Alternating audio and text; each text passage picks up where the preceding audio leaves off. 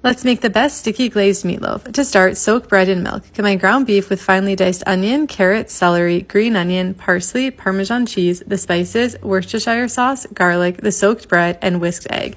Bake uncovered for 30 minutes. For the glaze, combine ketchup, brown sugar, vinegar, and the spices. Brush half the glaze on the meatloaf, bake covered for 15 minutes, uncover for 15, and enjoy.